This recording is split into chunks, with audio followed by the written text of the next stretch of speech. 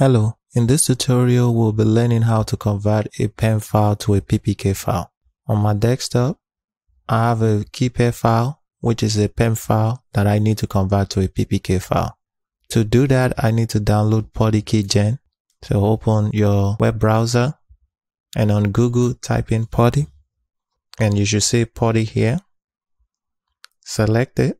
On this page, select download it here and the file we want is the PutyKeygen. So scroll down under the alternative binary file and you see the PuTTYgen, select the, the PuTTYgen exe.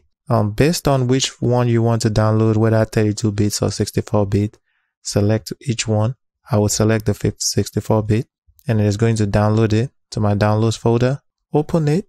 Once it's done, download it and you should see this Putty key generator. What we need to do next is load our file into it. Click load and I will browse to my desktop and the file, the key pair file. Just in case if you don't see it in there, change this to all file and you'll see your PEM file. Select it, open.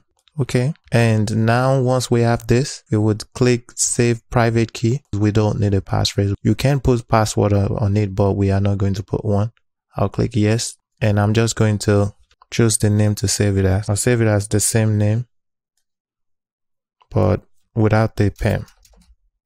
So I'll save it as the EC2 KeyPair and make sure you have the .ppk and click save. And we can close this now. And when I go back to my file on my desktop, you can see I have two files in there now. I have my regular PEM file and now I have my Putty private key file, which is my PPK file. That is how you convert a PEM file to a PPK file using PutyKeygen. Thank you and I'll see you in the next tutorial. Bye.